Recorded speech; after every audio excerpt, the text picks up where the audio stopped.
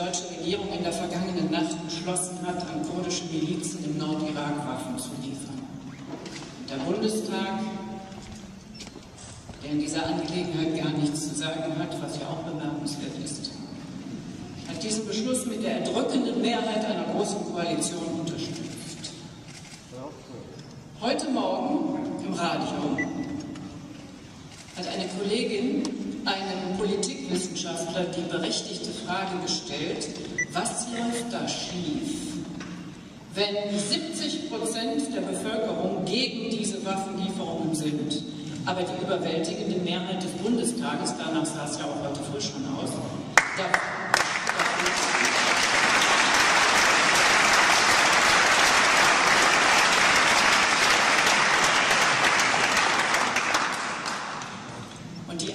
ihres Gesprächspartners lief darauf hinaus, dass wir in Deutschland schließlich keine direkte Demokratie haben.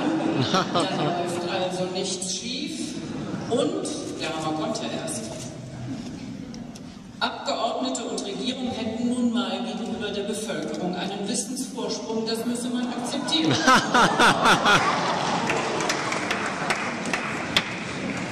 Pardon, ich akzeptiere das nicht.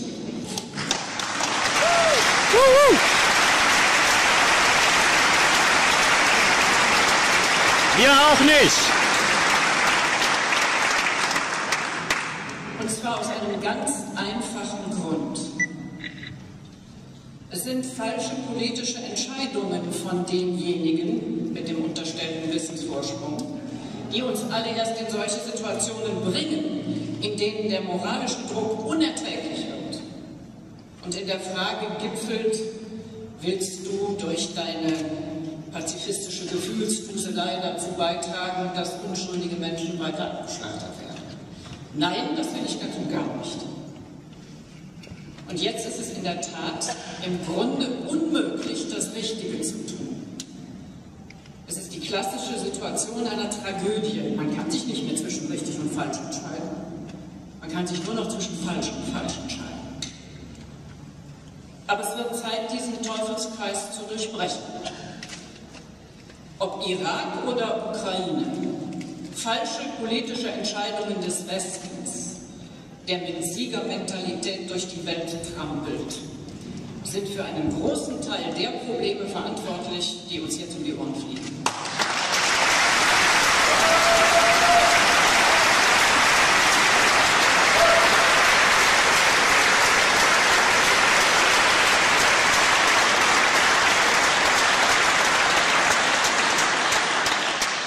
Es wird Zeit, dass sich friedliebende Menschen in der Masse mal wieder aufraffen und für dieses kostbare Frieden etwas zu tun.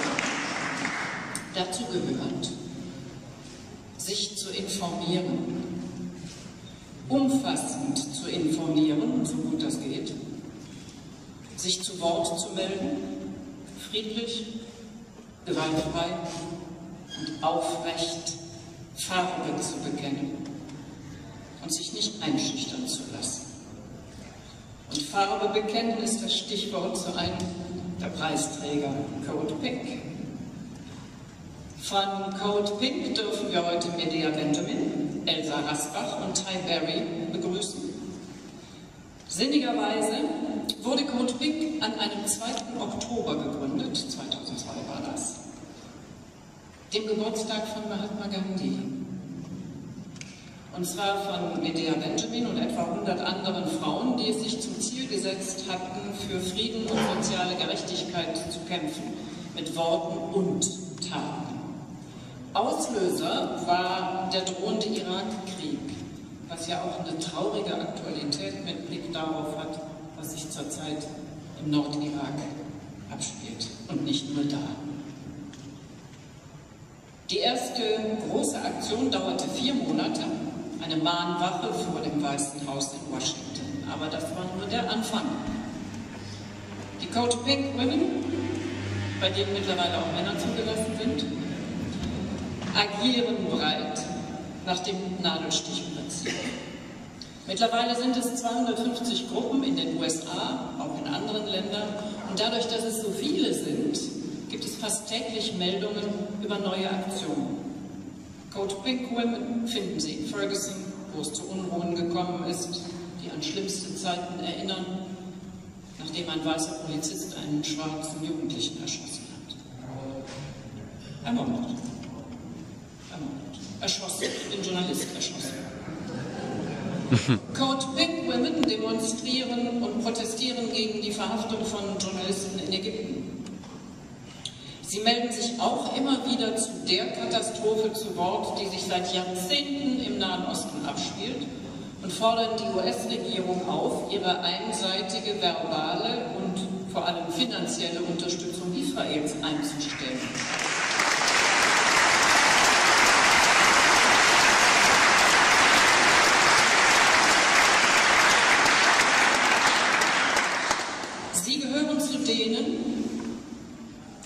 die all jenen die Stirn bieten, die Kritik an israelischer Politik nicht von Antisemitismus unterscheiden können.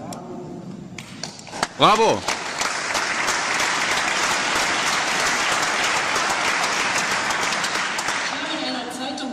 hinter dem entwaffnenden niedlichen Aussehen verbirgt sich eines der effizientesten politischen Kommandos der USA.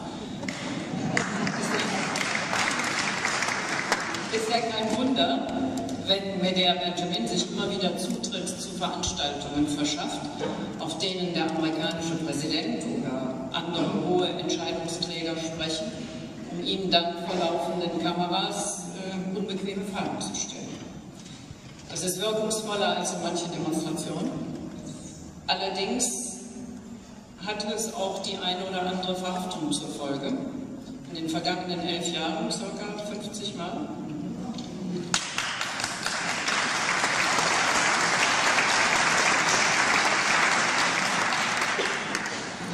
der Benjamin im Mai vergangenen Jahres Präsident Obama bei einer Grundsatzrede zur nationalen Sicherheit mehrfach unterbrach, wurde sie zwar nach dem dritten Mal von Sicherheitsleuten aus dem Saal komplimentiert, aber sie konnte anschließend dann doch unbehelligt nach Hause gehen. Eine Verhaftung hätte wahrscheinlich für noch mehr Aufmerksamkeit gesorgt als ihre Fragen. Wie etwa diese, Mr. President, können Sie der CIA die Drohnen wegnehmen? Oder was soll demokratisch daran sein, wenn nicht mal die gewählten Geheimdienstüberwacher im Kongress wissen, wer, warum auf der Killlist, auf der Tötungsliste des Präsidenten steht? Das Thema Drohnen, Sie haben es eben ja auch schon lesen können, das Thema Drohnen, damit beschäftigt sie sich aktuell. Auch bei uns in Deutschland steht es ja etwas dicker auf der Tagesordnung, seit unsere Verteidigungsministerin Ursula von der, Leyen, von der Leyen, wie war das mit dem deutschen über die Anschaffung bewaffnungsfähiger Drohnen nachdenkt. Und es entbehrt ja nicht einer gewissen Komik, wenn eine Amerikanerin beklagt, dass die meisten Menschen in diesem Land, also die Deutschen, wenig bis gar nichts über amerikanische Kommandozentralen wissen, die von deutschem Boden aus weltweit mit Hilfe von Drohnen Menschen töten.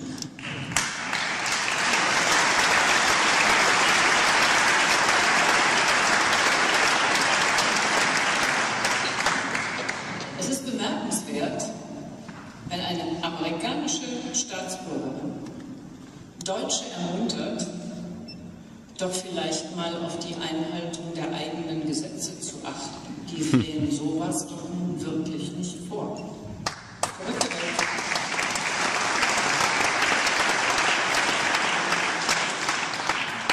Was Sie auf jeden Fall noch wissen sollten, Medea Benjamin ist 2005 für den Friedensnobelpreis vorgeschlagen worden und hat im vergangenen April den Gandhi Peace Award bekommen. Beides ihr. Ja, genau.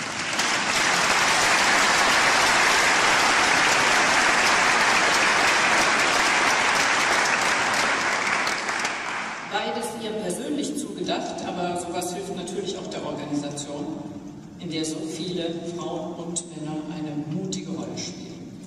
Ich verkneife mir jetzt eine ausführliche Bemerkung über den Friedensnobelpreisträger von 2009.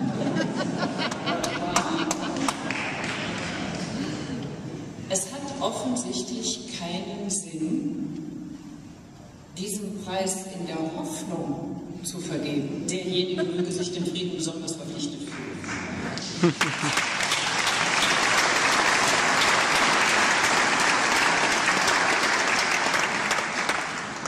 Schade.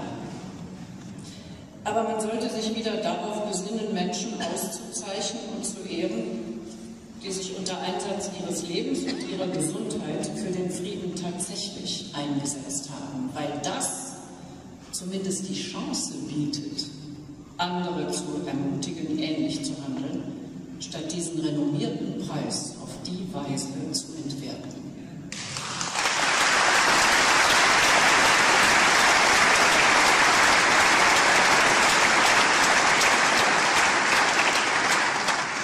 Mir geht es übrigens wie Medea, auch ich hatte große Hoffnungen auf Barack Obama gesetzt. Aber offenbar waren wir durch das Auftreten von George W. Bush Jr. so beschädigt, dass uns alles andere paradiesisch erschien.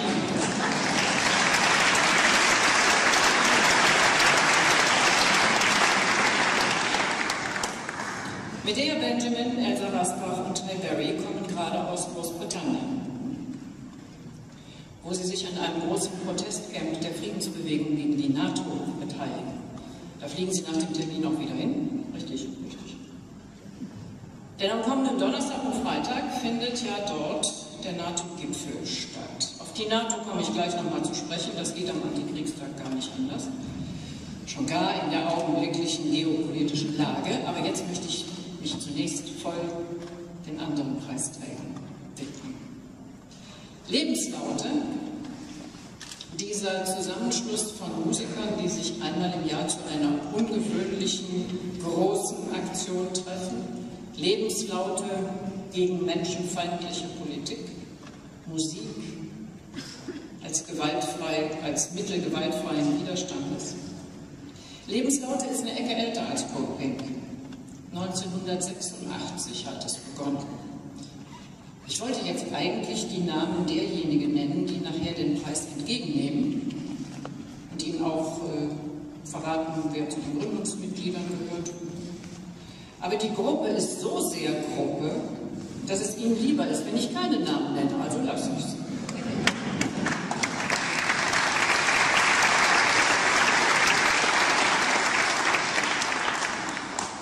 1986, das war die Zeit des NATO-Doppelbeschlusses. Als dagegen protestiert wurde, die amerikanischen Pershing-2-Raketen auf deutschem Boden zu stationieren. Wissen Sie noch? Pershings gegen die sowjetischen SS-20. Da wurde der Stationierungsort Mutlangen blockiert. Haben Sie noch die Bilder von den Sitzblockaden im Kopf? Und genau dort fand die erste Konzertblockade statt. Ein paar Bilder konnten Sie ja schon sehen. Mit der Klampfe saßen ja viele da. Sie gehörte von jeher zu diesen Protestaktionen dazu.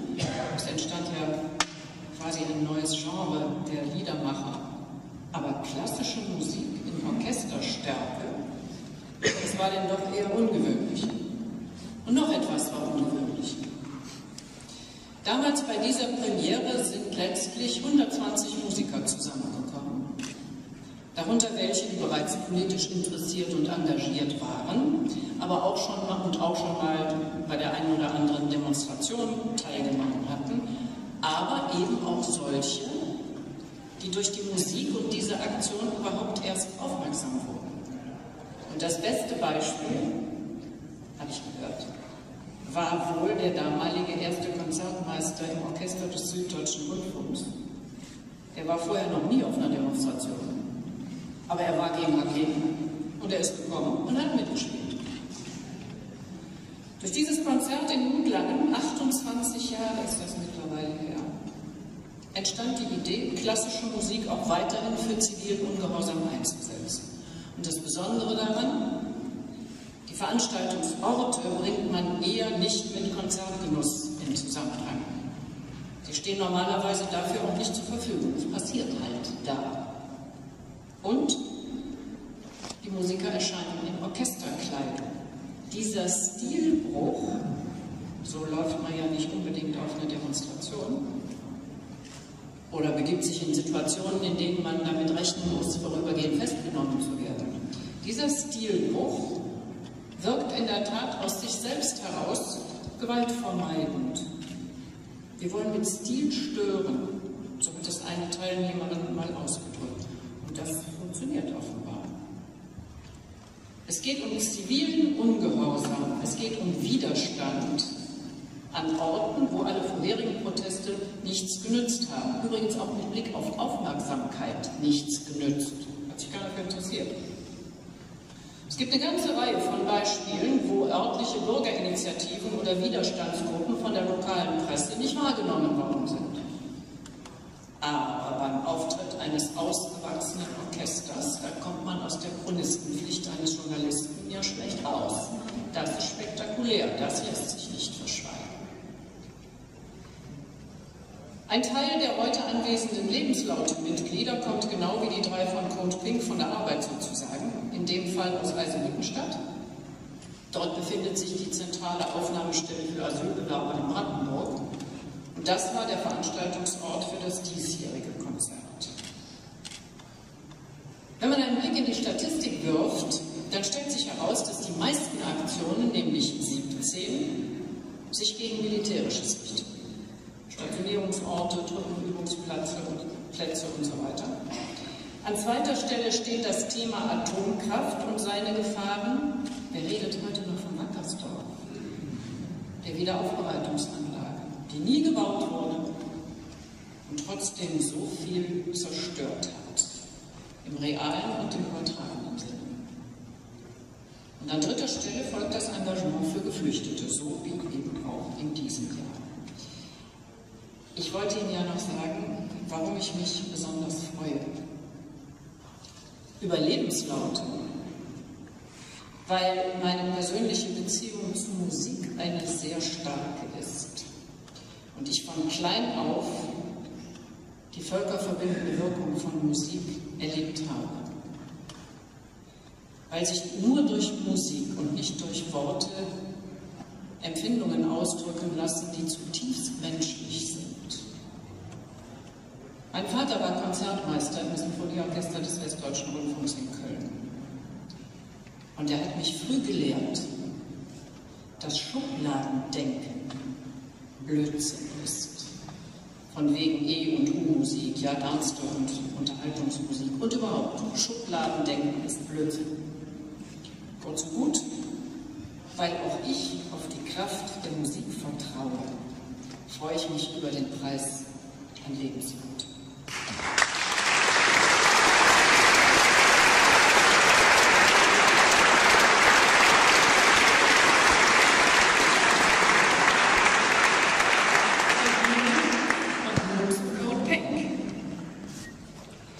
Wenn Menschen in einem Land, das weltweit an Ansehen verloren hat, weil Foltermethoden und solche Einrichtungen wie Guantanamo nun wirklich nicht zu den propagierten Werten passen, wenn Menschen in solchen Ländern, also hier konkret die USA, deutliche Signale setzen, dass sie damit nicht einverstanden sind, dann freut mich das besonders.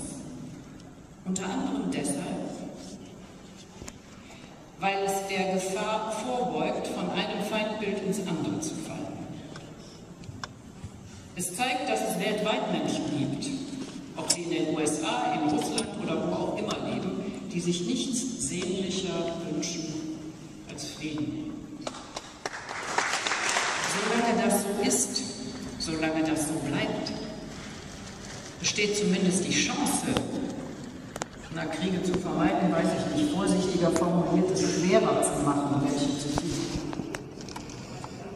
Auch wenn dieser wundervolle Satz, stell dir vor, es ist Krieg und niemand geht hin, wohl für immer Wunschdenken bleiben wird, der übrigens nicht von Bertolt Brecht stammt, aber das spielt hier überhaupt keine Rolle.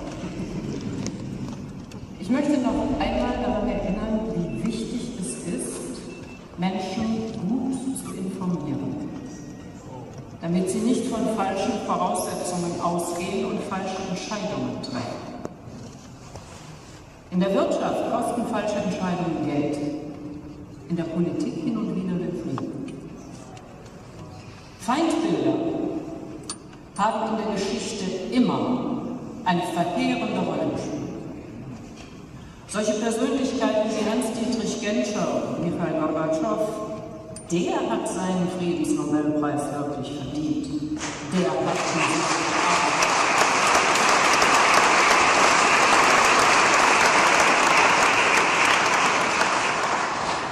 Sowjetunion hätte uns genauso um die Ohren fliegen können wie das ehemalige Jugoslawien, wenn Gorbatschow nicht eine so intelligente Politik betrieben hätte. Das wird nur so schnell vergessen und für selbstverständlich gehalten. Also Genscher und Gorbatschow werden nicht müde, immer wieder darauf hinzuweisen, wie gefährlich dieses Spiel mit Feindbildern ist. Und es ist erschreckend leicht, Menschen kriegsbereit zu machen. Man muss sie nur mit den richtigen bzw. falschen Informationen futtern. Und ihnen Beweise vorlegen, die keine sind. Sie erinnern sich an den Beginn des Irakkriegs? Das ist kein Einzelfall. Die Liste ist lang und wird nahezu täglich länger. Hm. Ich bin Ihnen ja noch die Bemerkung zur NATO schuldig. Als ich damals nach dem Zusammenbruch der Sowjetunion der Warschauer Pakt aufgelöst hat, der Gegenspieler der NATO, wenn Sie so wollen, da wäre es die richtige Entscheidung gewesen, auch die NATO aufzulösen. Jawohl!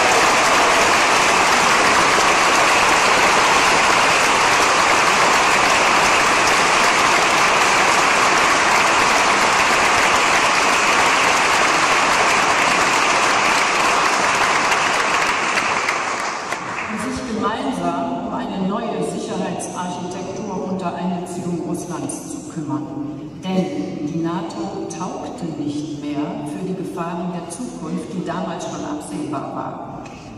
Die NATO taugte nicht zur Bewältigung von Regionalkonflikten.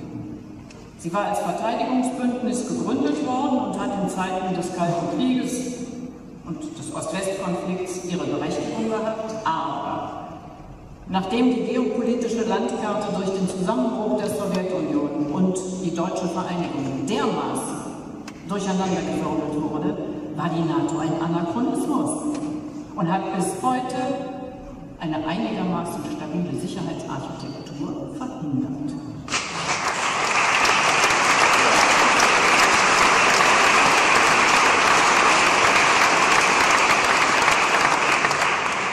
Wie naiv oder arrogant muss man eigentlich sein, zu glauben, in Europa eine Sicherheitsarchitektur ohne Russland oder gar gegen Russland hinzukriegen.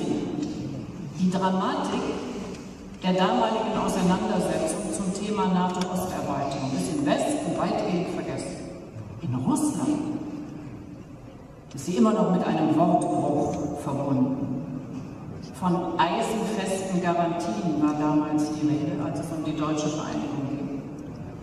Unter anderem nachzulesen in einem Buch von Condoleezza Rice. Erinnern Sie sich noch? Die war mal Außenministerin. Condoleezza Rice war eine enge Mitarbeiterin des damaligen amerikanischen Außenministers James Baker und sie hat in ihrem Buch, das sie zusammen mit einem Kollegen geschrieben hat, geschrieben. Eisenfeste Garantien hat man Gorbatschow. Und was ist raus geworden? Die NATO-Osterweiterung hat ohne Not dafür gesorgt, dass aus den ehemals zwanghaft verbündeten Gegenspieler Russlands geworden sind, die alles andere als freundschaftliche Gefühle für Moskau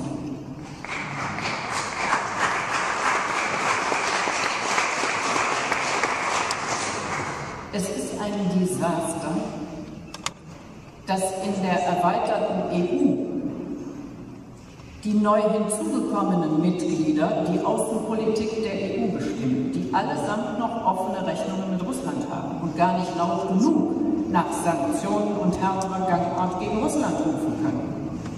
Wie mühselig war es zu Willy Brandt und Egon Bahrs Zeiten, eine neue Ostpolitik zu erarbeiten die auf Wandel durch Annäherung setzt.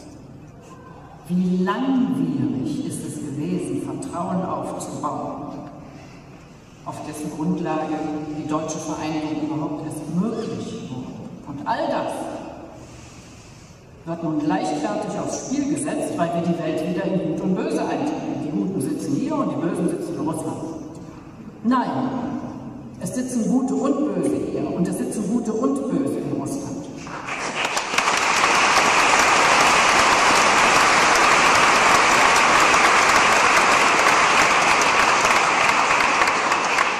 Und deshalb müssen auch die Guten oder vielleicht besser gesagt die Friedliebenden und vor allem die Intelligenten über Grenzen hinweg zusammenarbeiten und endlich dafür sorgen, sich Gesellschaften nicht von machtverliebten Psychopathen drangsalieren lassen, ganz gleich auf welcher Seite sie sitzen. Jawohl.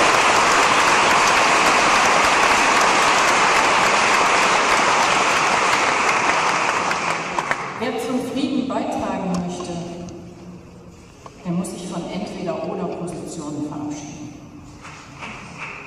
Entweder-Oder-Positionen verabschieden. Ich habe gehört, was? Man muss sich von Entweder-Oder-Positionen verabschieden. Es gibt nicht nur Gute und Böse, es gibt nicht nur Schwarz und Weiß, es gibt ganz viel dazwischen. Der Satz funktioniert auch nicht, für mich ist, ist gegen mich. Und auch das mit den Schubladen ist dumm und gefährlich.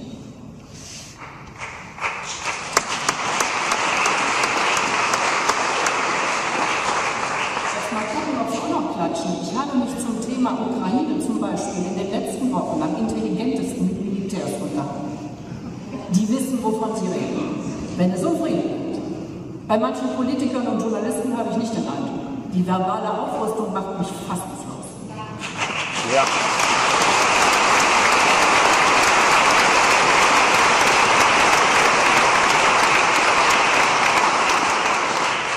Frieden ist harte Arbeit, wem sage ich das?